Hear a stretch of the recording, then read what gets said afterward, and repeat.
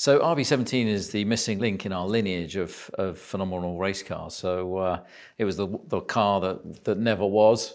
Um, so great to see it uh, you know, placed on such an incredible track car. The RB17 was really uh, giving Adrian the freedom to uh, to put all the things that he wanted to in a vehicle that he, from all his 35 years of Formula One experience, um, uh, you know, whether that was blown diffusers, double diffusers, uh, whatever, whatever he wanted to take from all of those years and, and put it into this ultimate track car, which uh, uh, has turned out to be a phenomenal, phenomenal machine.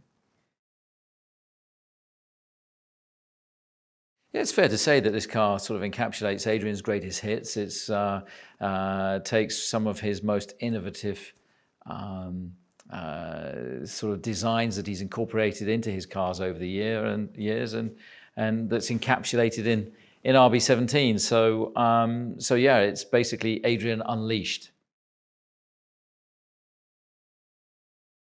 This is giving Adrian the freedom of expression to go and create you know his ultimate car, and of course he's he's a renowned designer. He's the most successful um, technical director in Formula One's history. Um, so, uh, and I think this project has been something of a, uh, a, a, personal mission for him um, and something that means a great deal to him. It's going to be a unique car. It's going to be, um, I think, the most extreme track car of all time. Uh, I think it's going to raise the bar significantly. Um, and I think when it's unveiled, people will really, I think it will wow them with uh, how extreme it is. So um, it's a super cool project. It's very Red Bull. It's, it's Adrian's um, legacy to his time at Red Bull.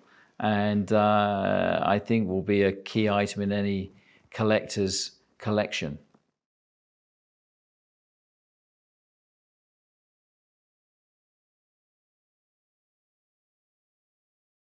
RB17 really is has been pushing the boundaries of everything we've learnt, including what I've learnt over my now longish career, into one car for, for the enjoyment of drivers that are just enthusiastic about being on track.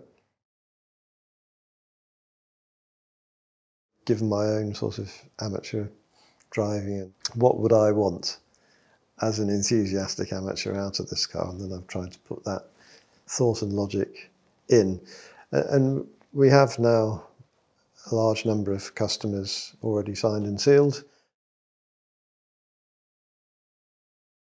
One of the reasons for limiting it to 50 cars is that then we can use exactly the same manufacturing techniques um, use in manufacture internally or where we don't manufacture internally, use the same suppliers as we use in Formula One, and then indeed assemble the cars in exactly the same way as we assemble the Formula One cars. So the whole thing is is very much Formula One working practices applied to something that's available for sale.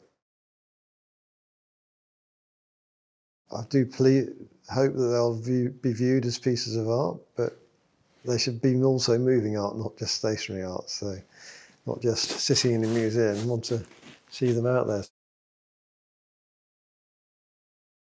If you like, the key key numbers for the car are 1,000 horsepower from the V10, uh, 250 horsepower from the electric motor, so a combined output of around 1250.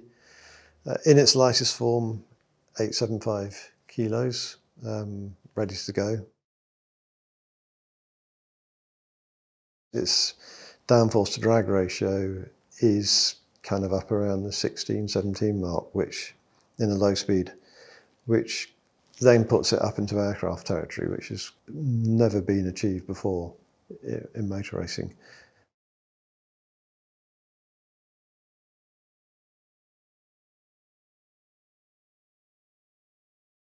The RB17, it's the ultimate in track-only hypercars.